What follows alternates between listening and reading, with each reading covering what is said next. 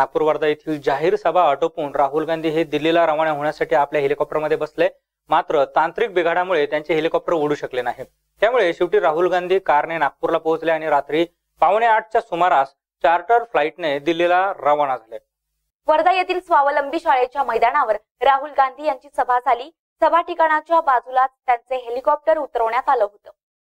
काँग्रेस समितीचे सचिव आणि विदर्भ प्रभारी आशिष दुवा आणि माजी मंत्री नसीम खान यांचे दुसरे हेलिकॉप्टर सुमारे सहा वाजता सभा आटोपली. सभेनंतर राहुल गांधी हे हेलिकॉप्टरमध्ये बसले.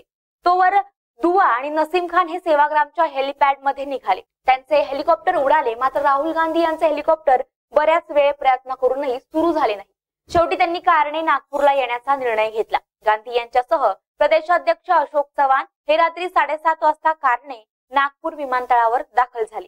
त्यानंतर राहुल गांधी हे विमानाने दिल्लीसाठी रवाना झाले.